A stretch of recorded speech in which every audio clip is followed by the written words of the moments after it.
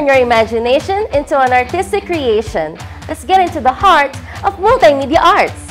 We use images, text, sounds, and videos to produce multimedia contents.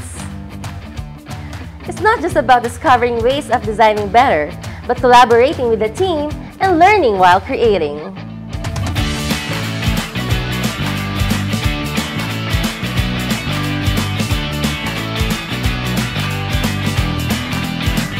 This boosts our overall artistic skills and opens endless career possibilities. In today's modern, fast-paced world, the industry need for IT professionals is ever increasing. Artificial intelligence, augmented reality, web design, and app development. Name it, we do it. You can learn more about enterprise architecture, system administration, and human-computer interaction.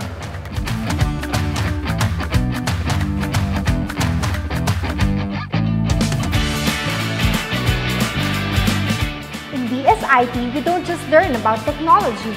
We are part of this creation. We are not mere spectators, we make it happen. We create to innovate.